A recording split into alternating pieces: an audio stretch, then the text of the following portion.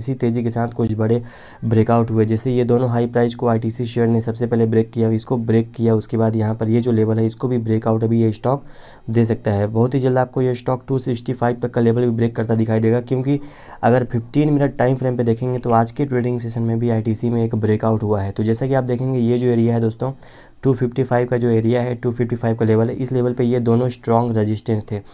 और एक ये तो ये तीनों रजिस्टेंस को आज के ट्रेडिंग सेशन में आईटीसी शेयर ने ब्रेक कर दिया, ठीक है? तो यहाँ पर आज के ट्रेडिंग सेशन में एक अच्छा ब्रेकआउट हुआ है आईटीसी शेयर में। एक तो पहले से ही लगातार तेज़ी फिर यहाँ पर एक रेंज बनाकर ट्रेड किया और आज यहाँ पर एक ब्रेकआउट दिया।